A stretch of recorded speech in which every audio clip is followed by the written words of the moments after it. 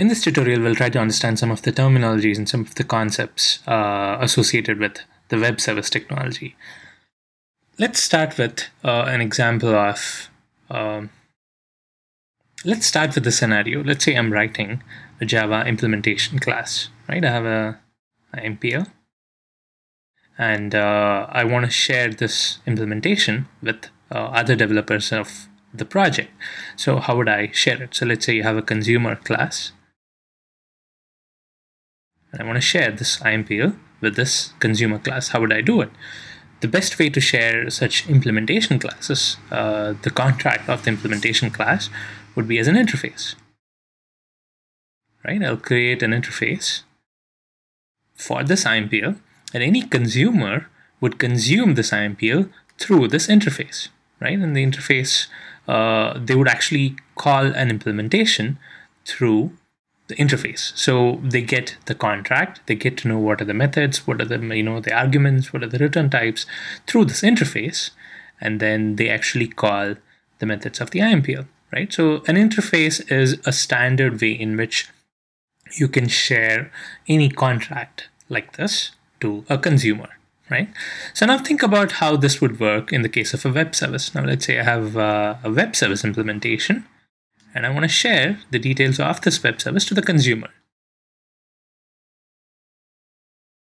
Right, so I have a consumer here and I want to share the details of this web service to that consumer. Now, would an interface work? Let's say I create the interface and share it with the consumer. Would it work? Well, it probably might not work because, as we discussed in the previous tutorial, you don't know what technology this consumer is. Right? It could be a C++ application or it could be a .NET application, right? You never really know. And let's say you have a Java web service, right? A web service is written in Java. You might want to give some kind of an interface that a consumer, irrespective of the technology, can actually consume, right? So let's say this consumer is a C++ uh, application. Now, if I give this C++ developer a Java interface, they'll probably have some interesting things to say to me, so that would probably not work, right? So this contract that I'm going to share with a web service consumer has to be technology independent, right? It should be something that any any application, any technology can understand, right? So an interface would probably not work. Now, when the developers of the, you know, when the creators of the web service uh, specification thought about this problem, what they came up with was a format that would be understood by all the technologies and all the consumers. Any guesses what this format is? Well, it's actually XML. Right? So, what you do is when you create a web service and you want to share the contract of the web service, you actually share that contract as an XML document. Right? This XML document is actually what's called as WSDL or it's pronounced as WSDL. It stands for Web Service Description Language or Web Service Definition Language. So, what this uh, WSDL document contains is the contract to your web service, right? So, that's one thing you would have to do when you create a web service. You share the WSDL document of that web service to the consumers, right? So, this is not something you would have to do manually you can do it manually if you want, but then there are tools which generate the WSDL for a web service, right? But this is something that you need to share with your consumers. And it's an XML document, so irrespective of whether the application is C++ or .NET, they can all parse this XML and uh, get to know what the web service is. And typically, the contents of this WSDL is kind of similar to what an interface does, right? It has the methods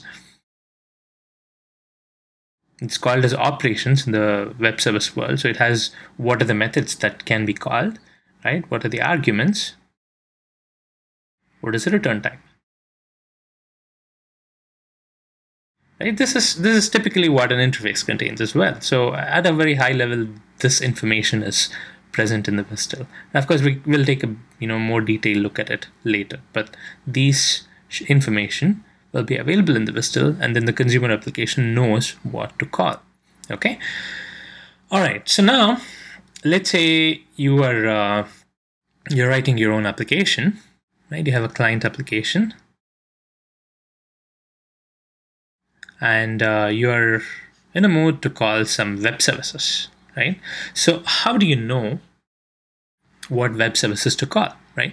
We know that one way to get uh, information about the web service is the WSDL, right? The WSDL is the interface to the web service, but how do you get hold of the WSDL? Well, there are these uh, these directories of web services, kind of like the yellow pages of web services, where you can actually query and get information about the web services. And these directories are called UDDI. UDDI stands for Universal Description Discovery and Integration. Some people pronounce it as UD I don't know. Uh, I knew a guy who used to call JNDI as Jindi, and I thought that was bad enough. But yeah, this is this is UDDI, and this is like the yellow pages of web services. It's a registry where, let's say, you're a new business creating a web service, can actually register your web service over here, and anybody who wants to consume that web service can actually query this directory, and uh, they can use the web service right? They can find the web service first of all, and then they can get the WSDL and they can use it. So UDDI is not a very popular concept. At least it didn't get the kind of adoption that was originally intended, but you might get to use it. So it's good to know. Okay, so now we've learned two uh, web service jargons so far. We've learned what a WSDL is, and we've learned what UDDI is. Okay, let's move on. Now, let's say you've queried UDDI and you've got the WSDL, and now you are writing your client application that calls the web service, right? So this is your uh, client app again, right? And uh, you're writing a Java application that calls this web service. You have a web service here, and you've got the WSDL document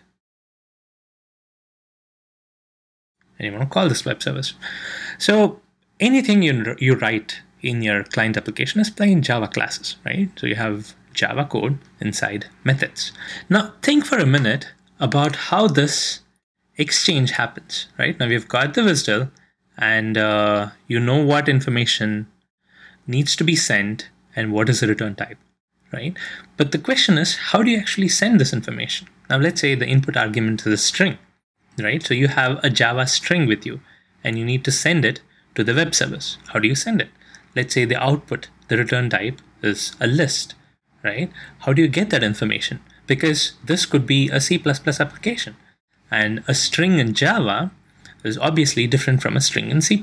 Now, how do you exchange this data between the client application and the web service? Well, Again, when you're exchanging any information, be it the input arguments or the return type, you need to exchange it in a format that all these different technologies can understand. Irrespective of the actual implementation technology, it should be able to understand what you're passing and it should be able to send a return type back in a language that all these different technologies can understand. Any guesses what this format is? Yes, it's XML again. So, whenever you're sending any information across the network from a client to the web service and then the return type back to the client, it has to be in an XML format, right? So, you cannot really send a string or a list or anything like that. You cannot serialize Java objects and send them across because if this is a C++ application, what will it do with a serialized Java object? Doesn't really have any idea. So, it has to be in a language neutral format which is XML again, right? So there is the specification about how you need to send all these different input types and output arguments. Basically, any data type needs to be sent in a specific XML format. It's a protocol, really. It's a it's a way in which both the, uh, the you know the sender and the receiver understands. And this protocol, this XML protocol, is called SOAP, right? It's called Simple Object access protocol. Make sense? It's a way in which these different technologies can access objects, can access data, right? And it is supposedly simple, so that's a part of the name. It's called Simple Object Access Protocol, right? It's kind of an understanding so that all these different uh, technologies written in different languages can kind of understand what they're all talking about. Okay, so this is the third uh, terminology that you need to understand, right? It's SOAP. Now, you you know what is the web service, right? You know what needs to be sent, and you know how to send it, which is using the SOAP protocol. Now, who does this conversion, right? So you have your uh, string object, you have your own complex object and data types. Now, how do you do the conversion from a Java object to a SOAP message? So the conversion is actually done by an intermediary class over here right? So this class takes care of converting all your um, objects into a SOAP message, right? The whole method call itself needs to be converted to a SOAP message, right? Because the message itself is interpreted at the other end.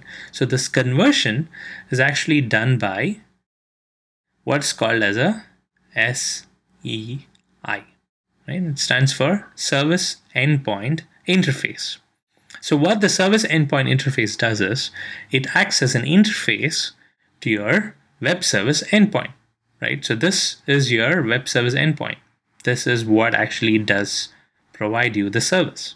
So you have an interface at your client application to the service endpoint, which translates the whole web service call to a SOAP message and then it makes sure that the other thing is able to understand this message, right? It follows the protocol. So this is called as the service endpoint interface. And we don't actually have to write this class and write all the conversions ourselves. We can have this automatically generated for us. But then this is something that you need to understand. And then when you're making a web service call, you don't worry about where the web server is and where you need to call. All you need to do is have this service endpoint interface created, generated, and then you call a method of this service endpoint interface. And the good thing about the service endpoint interface is that you can actually have an interface that's specific to what you're developing, right? Say this is a Java application. You can have a service endpoint interface that is specific to a Java application. So it knows to convert Java objects to a SOAP message, right? Now, let's say you're writing a C++ application calling the same web service, right? It's calling the exact same web service. So you will have a service endpoint interface here for C++ that knows how to convert C++ objects to SOAP message, how to convert a C++ access to web service to a SOAP message, right? So it takes care of handling all this web service and SOAP complexity so that you can actually write C++ code which calls a method. It's as simple as that. And then this takes care of all the web service complexity and you don't have to deal with it. So we have learned four different terminologies so far. We've learned what a WSDL is, a WSDL stands for Web Service Description Language document, which describes what a web service is in an XML format that different technologies can understand. And then we've learned what UDDI is, it is a directory where any publisher can publish their web services and a consumer can query this directory and get access to all the different web services. Third, we've learned what SOAP is. It's basically a protocol, it's a language, it's a format, again, an XML format that is used to encode and decode different messages. You're making a call to web service, it ends up as a SOAP message that gets transmitted over the network so that the, the, you know the web service itself, irrespective of the technology, can understand it. And then fourth, we've learned what a service endpoint interface is. It's an interface to the service endpoint. It's an interface to the web service that provides a way for your client application, irrespective of the technology, to call the web service. So depending on the technology, you get a service endpoint interface for that technology. So a Java application has a Java service endpoint interface, and a .NET application has a .NET service endpoint interface. And this is something you can actually generate out of the web service itself. Out of the WSDL, you can actually generate a service endpoint interface, and you can your code can actually use it. All right. So these are some of the important concepts about web services that you need to understand. We're going to go into more detail in the next tutorial. Thanks for watching.